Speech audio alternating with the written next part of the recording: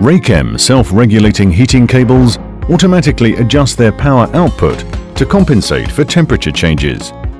The outer jacket, braid and inner jacket provide mechanical, chemical and electrical protection.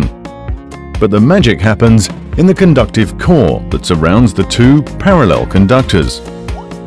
As the ambient temperature drops, the core contracts microscopically and the number of electrical paths through the core increases. More heat is produced.